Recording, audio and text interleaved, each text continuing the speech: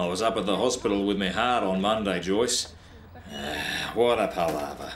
Of course, three hours he was up there, Joyce. Two of those was waiting, one being seen. That's two thirds of a third, Joyce. That's twice as long waiting as being seen. It was like a third world country up there, Joyce. I'll tell you something for nothing. Your Brian's got the right idea. He's dying at home and I take my hat off to him. You know what you're going through.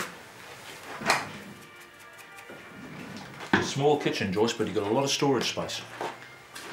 That will burn a little bit on your ear. Is that burning, Joyce? That'd be a little bit of ammonia. Don't panic. Let's have a little wipe off. Lord, come and take me home. Lord, come and take me home. Lord, come and take me home. I'm tired and I want to come home. I'm singing for Brian, Joyce. He can't do it, he's in no state.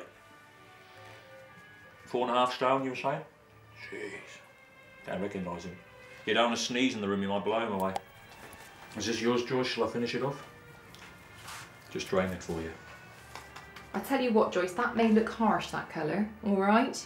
But that is beautiful. That is aubergine. That's going to give you a real perk up. It really is. Because you're getting very thin around the back. I mean, bald would be cruel. Welcome, brethren and sisters, to this our first top-up meeting. Sadly, Vicar David cannot be with us tonight. However, he does send his very special prayers to one and all. Amen. Now, the purpose of these meetings, as we verified, is for them that need a top up. And I think that probably includes one and all here tonight. Church is your vaccination against Satan. These meetings are your booster. All right? Rise to praise. Rise to praise. Putting a call through to the Lord. Dialing up. We're through. Dear Lord, don't pick up. It's just Tony. Lord, send down your rays of love for the husband of Joyce Lydgate, Brian Lydgate, who is in the last stages. He's clinging, Lord, clinging on to life. May you strengthen his fingers, they may cling a little longer, but gently prod him in the side so that he loses his grip, that you may clutch him to your heavenly bosom, Lord.